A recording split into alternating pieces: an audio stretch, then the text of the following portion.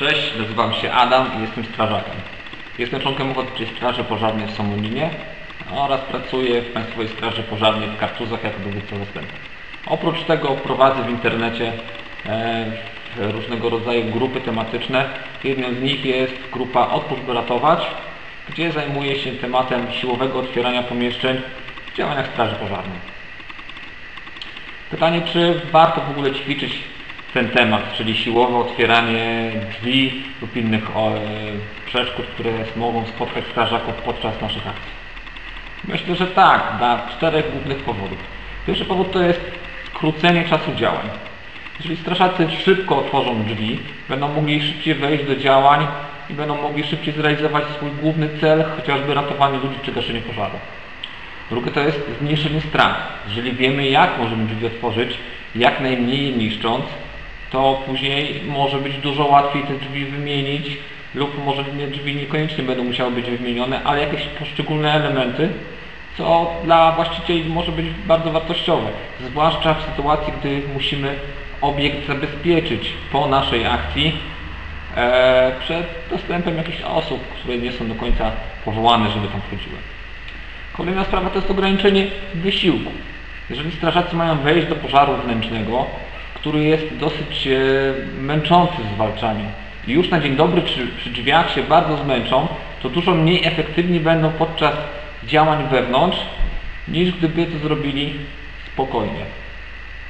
Kolejna sprawa to jest tworzenie dobrego wizerunku. W tej chwili strażacy są filmowani na każdym kroku, robione są im zdjęcia. Jeżeli widać, że strażacy robią coś profesjonalnie, im to wychodzi, to cały czas pogłębiamy dobre zdanie o naszej formacji e, i ludzie mają e, większe poważanie do nas. Takie otwarcia, które zdarzają się w straży pożarnej, można podzielić na trzy takie grupy. Pierwsze to są otwarcia typowo e, na wezwanie policji. Czyli to nie są typowo działania strażackie, wzywa nas policja, bo na przykład ktoś odwiedził swoją babcię, której nie widział od dwóch, trzech tygodni, nikt jej nie widział, babcia nie otwiera. Prawdopodobnie ta babcia zasłabła lub jest chora. Więc wtedy są wzywani strażacy i staramy się jakoś do tego obiektu wejść. Nie zawsze jest potrzebne szybkie otwarcie. Dlaczego? Warto na przykład zastanowić się, czy na przykład sąsiadka nie ma kluczy, bo robiła dla tej pani zakupy, czy na przykład nie jest gdzieś uchylone okno, więc możemy sobie zrobić długie rozpoznanie, żeby zminimalizować właśnie straty, a nie od razu wyważyć drzwi. Ale to nie znaczy, że takie działania nie przejdą w tryb pilny w tryb ratowniczy.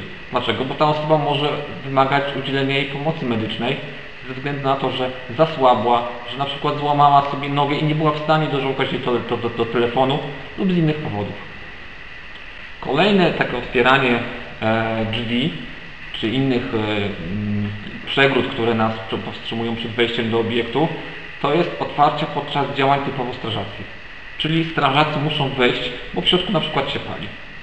Wtedy raczej e, są to działania szybsze, nie zważamy tak bardzo mocno na straty. E, dlaczego? Bo im szybciej dotrzemy do pożaru, tym szybciej jesteśmy w stanie go ugasić.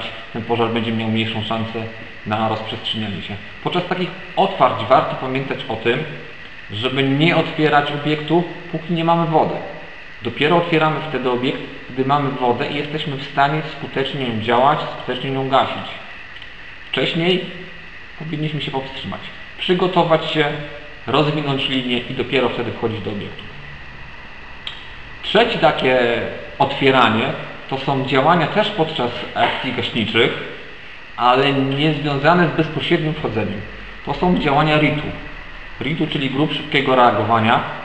To są działania, które mają stworzyć drogę do wejścia lub wyjścia z obiektu gdy, na wypadek, gdyby doszło do jakiejś niekontrolowanej sytuacji.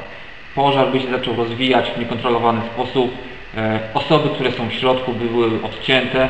E, wtedy na przykład musimy wcześniej pomyśleć o tym, że warto na przykład usunąć kraty w oknach, tam, którędy będzie można e, ewakuować osoby, które są w środku lub e, strażaków, którzy działają w środku, e, czy otworzyć dodatkowe drzwi. Tylko tutaj też trzeba pamiętać, żeby robić to w taki sposób, by nie zmieniać przepływów powietrza podczas pożaru. Bo jeżeli zmieniamy ścieżki przepływu pożaru, to możemy zmienić warunki pożarowe i strażacy czy osoby, które są w środku mogą znaleźć się właśnie w trudnej sytuacji przez to, co zrobiliśmy. Ale to są właśnie takie działania interwencyjne jeszcze zanim wystąpiło to zagrożenie.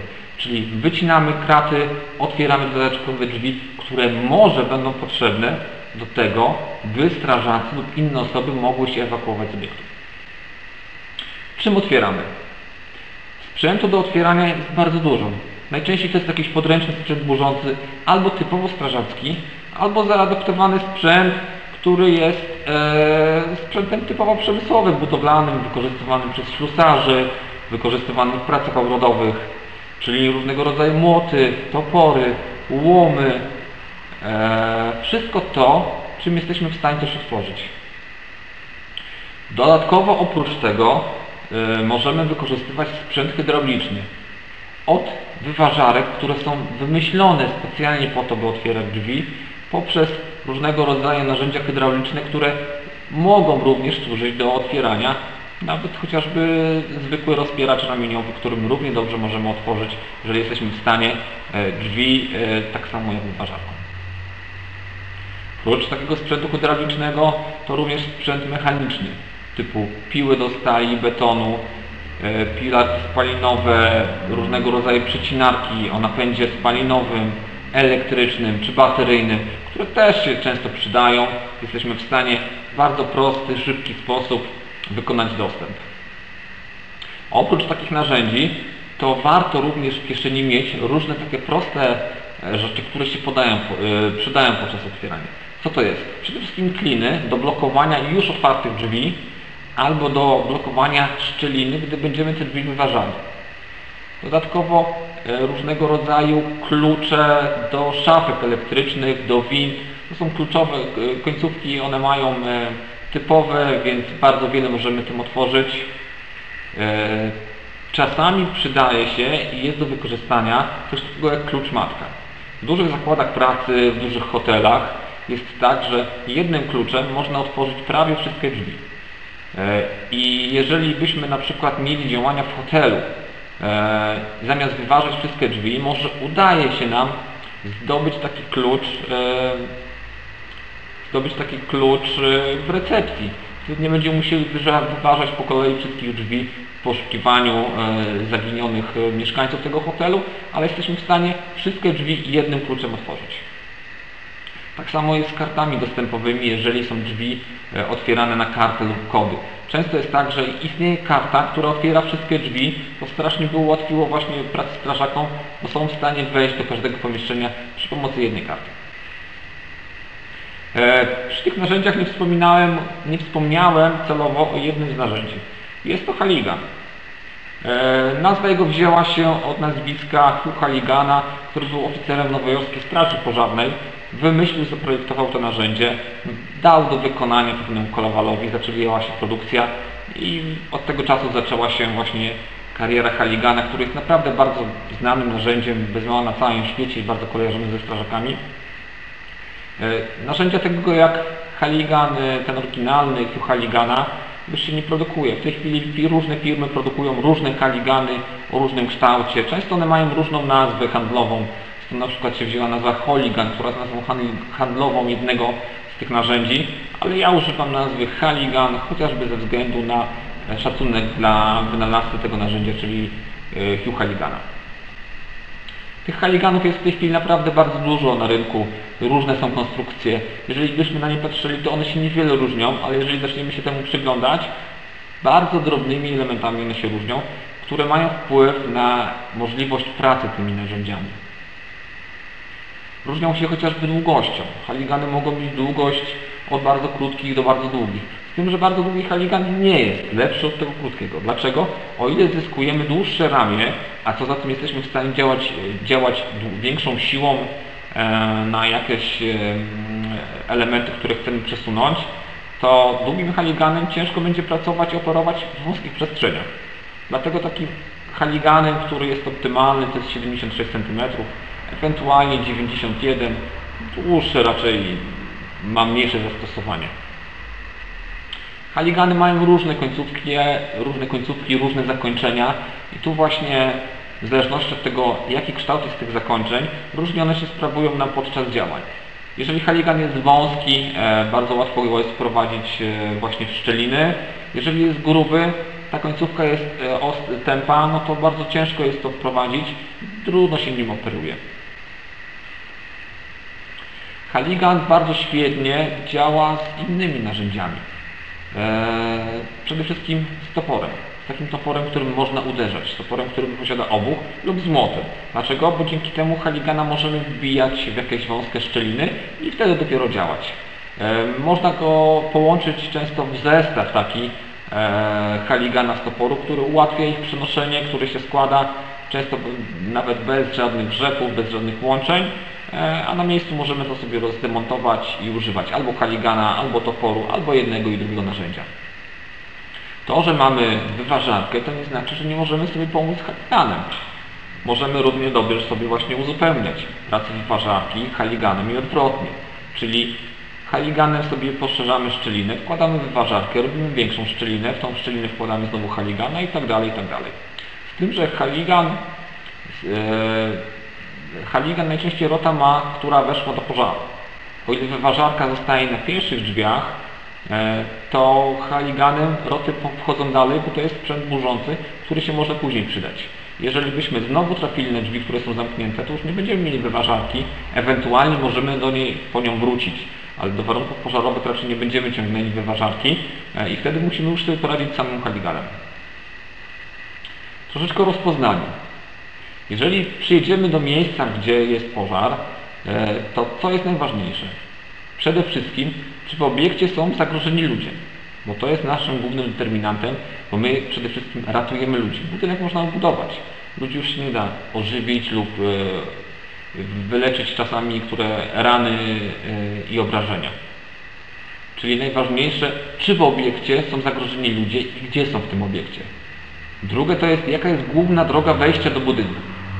Dlaczego? Bo jeżeli otworzymy główną drogę wejścia, jeżeli ją udrożnimy, to jest duża szansa, że osoby, które będą chciały się ewakuować albo nie dały rady ewakuować się i są nieprzytomne, będą właśnie na tej głównej drodze ewakuacyjnej.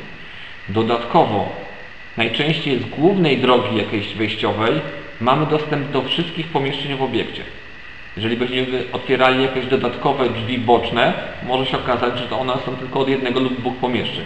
A jeżeli wejdziemy głównym wejściem, jest duża szansa, że dzięki temu będziemy w stanie wejść do wszystkich pomieszczeń w budynku. Jakie są alternatywne e, drogi wejścia do budynku? Może nie musimy wchodzić głównym wejściem, może z tyłu za budynkiem jest wejście e, przez drzwi tarasowe, może łatwiej wejść, wejść będzie przez balkon.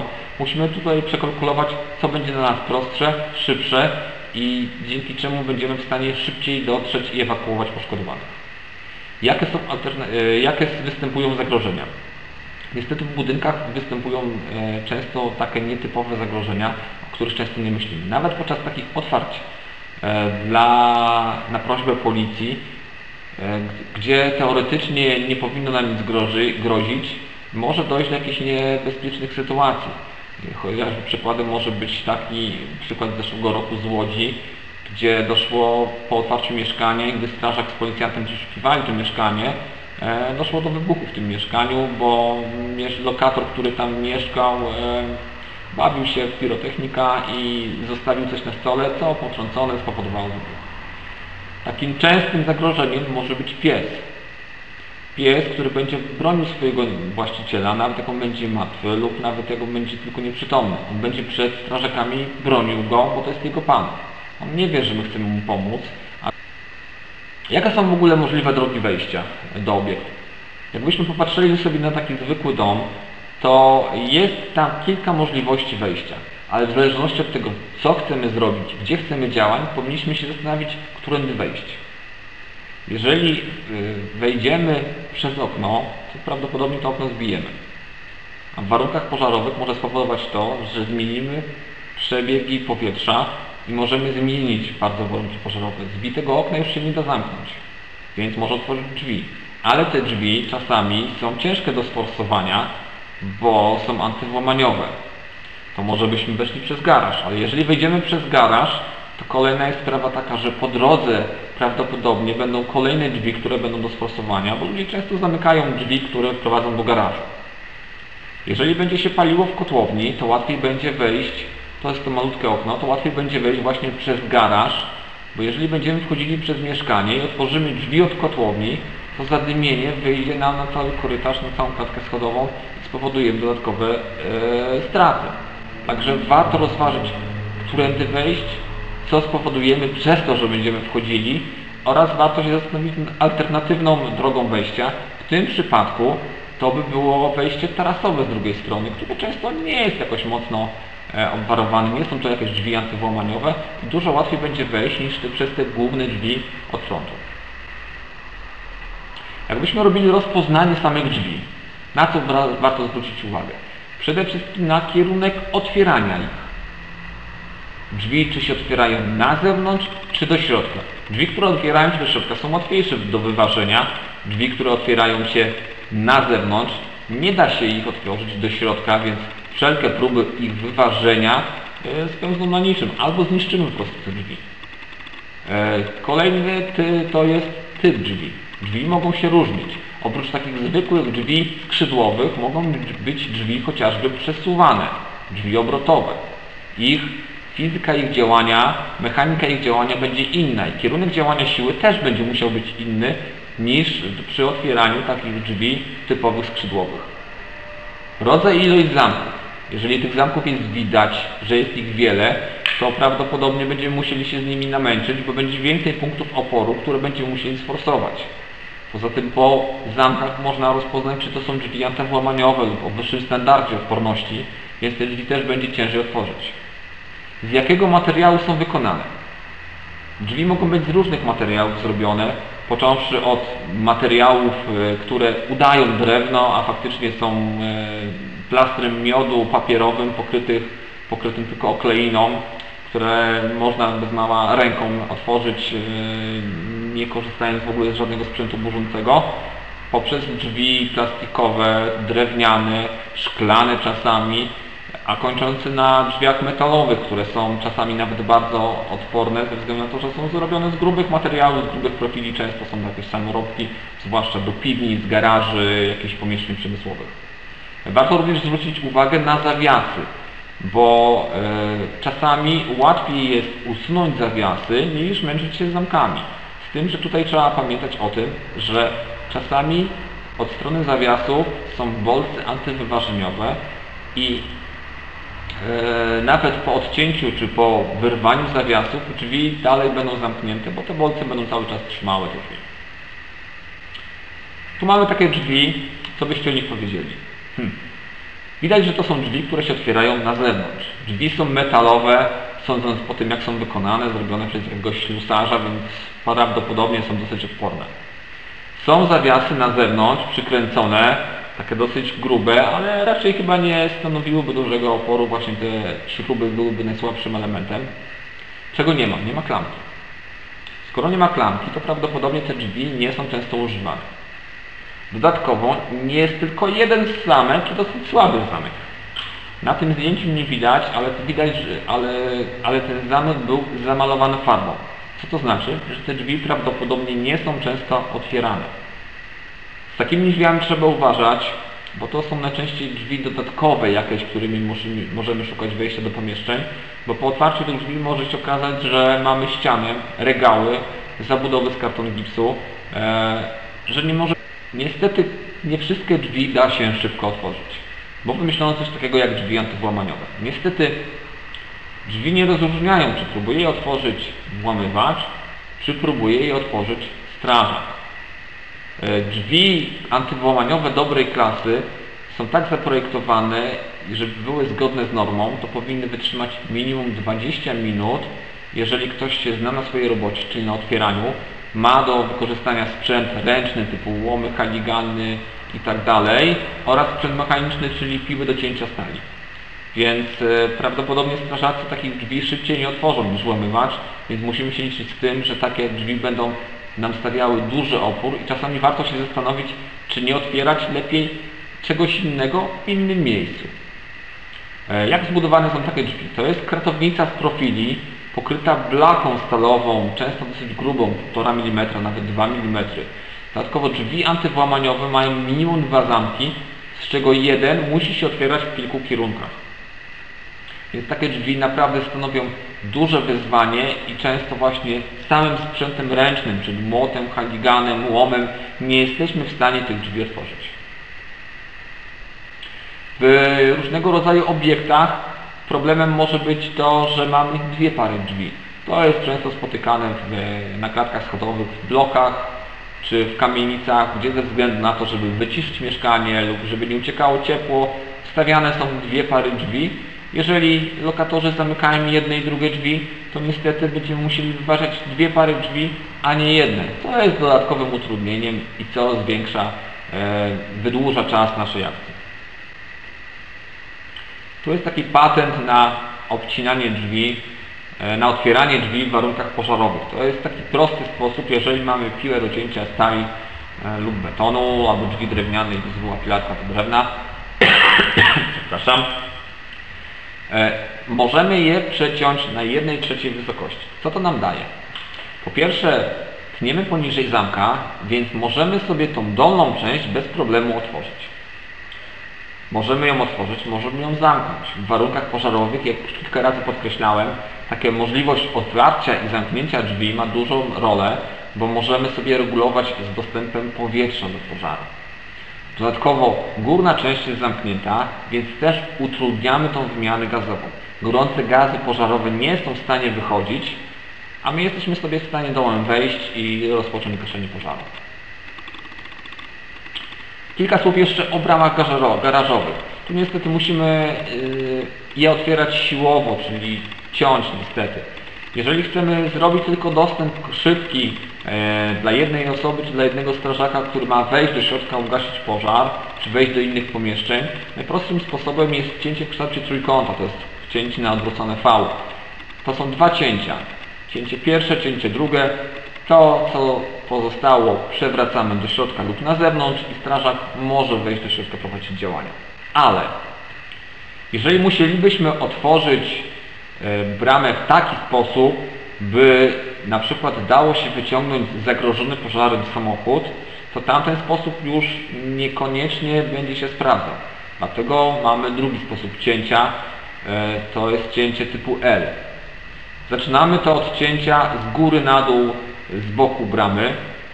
Później tniemy na dole pod kątem, to jest cięcie drugie. Dlaczego to cięcie robimy? Bo nasze przecinarki do stali mają to do siebie, że przez to, że mają osłonę, to czasami mamy kłopot z docięciem w takich warunkach aż do samego dołu. Wtedy właśnie musimy przeciąć na skos, e, wycinając taki trójkąt. Ten trójkąt wyginamy i wtedy jesteśmy w stanie włożyć narzędzie i dociąć aż na dół. Później tniemy na wysokości taka, jaka nam będzie potrzebna. Najczęściej jest to na wysokości mniej więcej ramienia strażaka wzdłuż bramę i tą bramę całą otwieramy w stronę e, prawą. Podczas otwierania powinniśmy sobie zwrócić też uwagę na jedną rzecz. Czy to, co będziemy otwierali, czy to, co będziemy niszczyli, jest koniecznie. Czy nie powodujemy jakichś nadmiernych strat? Może czasami warto pomyśleć, czy nie można zrobić tego prościej, z mniejszymi stratami. Pamiętajcie, że my mamy pomagać, nie mamy powodować większych strat. Na tym zdjęciu mamy jeden z najważniejszych zabytków naszych e, polskich, czyli drzwi, drzwi. E, gdyby strażacy je zniszczyli, no to byłoby niepowetowana strata dla, całego, dla całego naszego narodu. Więc pamiętajmy o tym, żeby nie niszczyć i dwa razy się zastanowić nad tym, co musimy zrobić, tylko po to, żeby nie powodować strat i nie niszczyć wszystkiego dookoła. E, to wszystko z mojej strony. Mam nadzieję, że Was nie zanudziłem. E, chciałem Was przeprosić, bo nie mam wprawy w przemawianiu. E, może się troszeczkę zacinałem. Mam nadzieję, że się kiedyś spotkamy na żywo i będziemy mieli okazję wspólnie poćwiczyć. Zapraszam do odwiedzenia i polubienia mojego profilu Odpuść by ratować, gdzie staram się jakieś ciekawe materiały cały czas wrzucać. Dziękuję, cześć.